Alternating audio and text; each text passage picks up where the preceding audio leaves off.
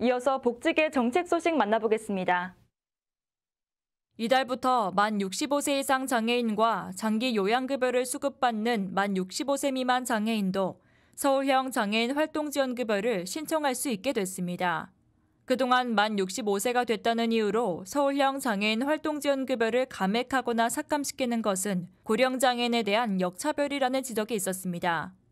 또한 2020년 12월 헌법 불합치 결정으로 장애인 활동 지원법이 개정되면서 만 65세 미만 장기 요양급여 수급자에게 서울형 장애인 활동 지원급여를 지급할 수 있는 법적 근거가 마련됐습니다.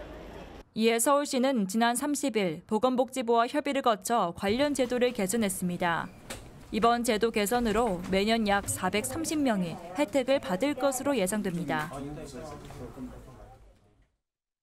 2023 중증장애인 고용 확대 아이디어 공모전이 이달 20일까지 열립니다.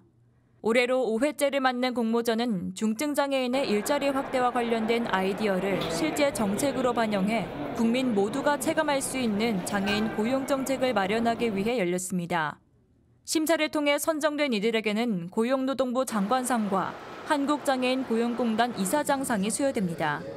공모전은 이달 20일 오후 2시까지 전자우편을 통해 접수를 진행하며 심사 결과는 이달 말 공단 누리집을 통해 발표할 예정입니다.